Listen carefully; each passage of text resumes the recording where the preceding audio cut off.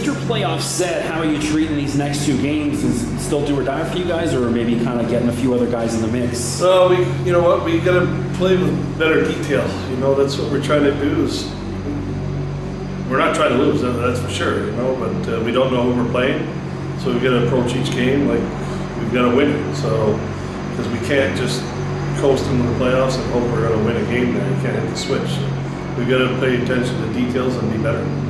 Guys seem to run out run out of gas a little bit in the third period. What was the message to the guys after? No, I th- you know what? I didn't like our first 10 minutes of the game, but the third period, I think we we're 16-3 in chances. So, you know, we uh, we didn't capitalize on our power play, and yesterday was all power play practice. Um, so we've, we've got to be sharper.